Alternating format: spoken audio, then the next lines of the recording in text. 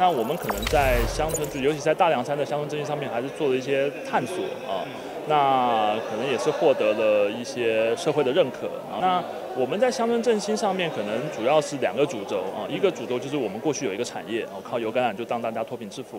那另外一个主轴可能是我现在可能主要负责的，就是所谓的公益助学这个部分啊。那相对来这两个板块其实是两个不同的主不同的主题啊。